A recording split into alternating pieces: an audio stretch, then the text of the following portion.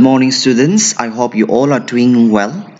Today we will start our chapter 2. The topic name is microorganism and I have divided this one into various part. Okay, every day we will take small small. Okay. Subject teacher Imenungba. If you have any doubt or queries, you can directly contact the concerned subject teacher. Okay, before we go on, let us try to have a look on our environment. We find living organisms everywhere around us. Some are extremely large and some are very very small and that they can be seen through naked eye. Okay, and for that we need a microscope. Yes or no? So okay, have have a look on the first one that's microorganisms. Okay, organisms that are visible only through a microscope. We call it microorganism. Okay. We can't see with our own eye. So it has to be observed through microscope. We call it and that's organism. We call it microorganism.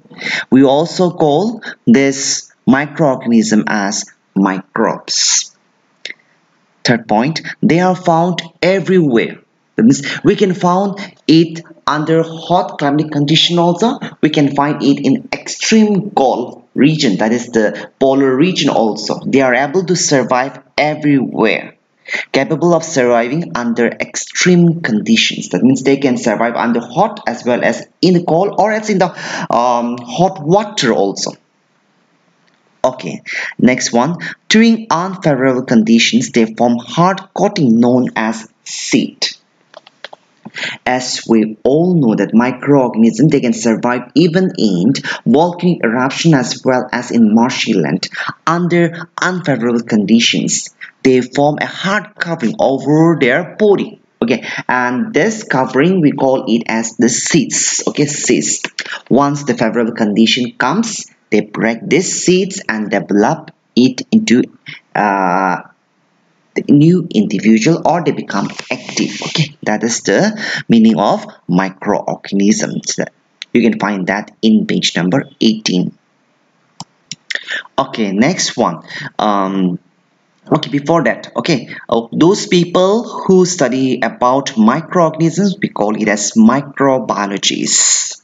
Okay and the scientists who studies about microorganisms we call them as microbiologists. Keep in mind. Next we have got is type of microorganisms.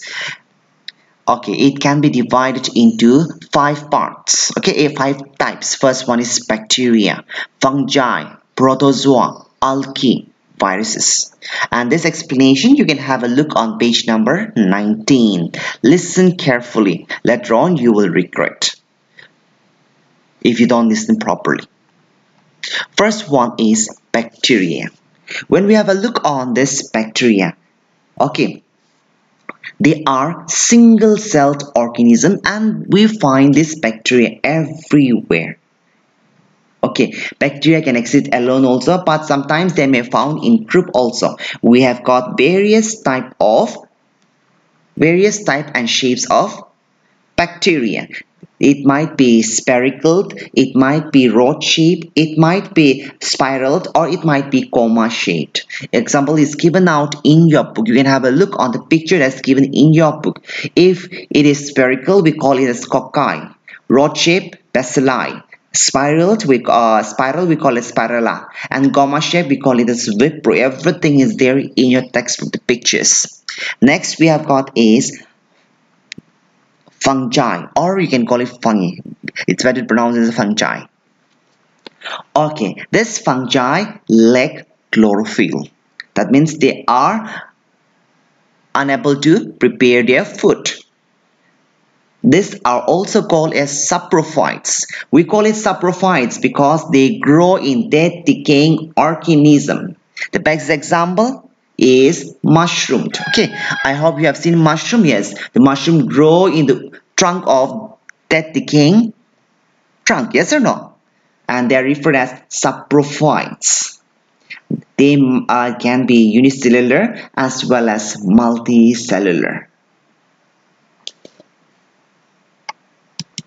Next we have got is protozoa. Okay, this protozoa, best example we can find it is amoeba, euglena, paramecium. These are some of the example. They cause various kinds of disease in human being. They may cause dysentery as well as malaria as well. Okay, they are also single-celled animals, single-celled organisms, and they can uh, they can move uh, they move from one place to another in search of food. They can find we can find this organism in the water as well as in the soil. Some organisms are parasitic. Okay, that means they, they live in the body of other organism and cause various kinds of disease in human being. Next we have got is algae. Algae are simple plant.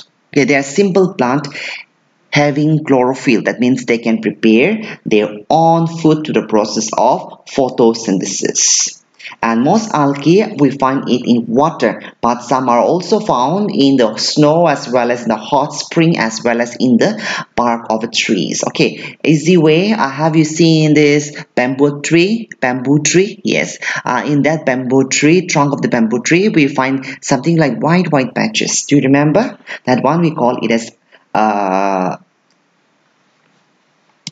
that is a kind of lichen, uh, that is a kind of lichens which is formed by the association of algae. Example include like Chlamydomonas and Spirogyra, etc. Okay, the last one, the fifth one, the virus. These are the smallest, smallest microorganisms, okay, and they can't be seen by the ordinary microscope which we have in the school, okay, and it can be seen only by the powerful uh, electron microscope. This micro, uh, sorry, this microorganism known as virus can exist in two forms. They might be living or as well as non-living. They are non-living when not in contact with the living body. And so that non-living state we call it as vir uh, virion. They may be, uh, become living when they come in contact with the living cells. And thus they start reproducing. The best example we can find it is HIV HIV means the meaning uh, the abbreviation is human immunodeficiency virus. Another thing is rhinovirus, the, the influenza. The common cough and cold is caused by this rhinovirus and uh, this is an example of it. Okay, let's have a look on the uses of microorganisms we often think that microorganisms cause only disease but in some way or other way they are beneficial to us and uh, as well as to our environment. And we are going to study um, based on the commercially uh, commercial uses medicinal uses agricultural and environmental uses. Okay the first one let's go on with the uh, first one that is making of curd curd is produced. Or curd is being prepared by using bacteria. Okay, keep in mind. See, curd, when we have a look on the curd, curd contains a bacteria known as lactobacillus. Keep in mind. And keep in mind, okay, when we have a look on the milk that we used to have, uh, they contain proteins, yes or no? And the protein uh, name is casein, okay, casein. Okay, when this curd, small portion of the curd is being added into this uh, milk, chemical reaction takes place between the uh, curd, that is which contain the lactobacillus, and the protein, that is the casein. Okay, see, and during that meantime, they will undergo coagulation of the casein and convert milk into the curd. Keep in mind. Okay, next one is the making of bread. Bread. To make bread, we uh, need a fungus known as the yeast. Yeast. Okay. To make bread, we need flour. Yes or no? We make what? We need water. We need uh, yeast as well as baking soda. And these things are mixed together, and we need together to form a trot. Yeast mixed in trot reproduce rapidly and decomposes uh, baking soda to produce carbon dioxide gas. Keep in mind. This carbon dioxide keep on uh, rising in this trot and thus they form holes in the trot in the bread. This make the bread to rise up and become spongy and porous. Next one is making of alcohol beverages. Okay, when we have a look on this third one, to make alcohol, we need a bacteria, which we call it as yeast. We, we get a uh, wine, we get beer, and these are all prepared by using a bacteria known as yeast. First, it will allow to go undergo fermentation. See, it involves fermentation of sugar present in barley, grapes, etc. by yeast. And later on, what happens is this: it breaks down sugar to form alcohol as well as carbon dioxide. Okay, in this we have they have used when we have a look on page number 20, they have used a term known as fermentation.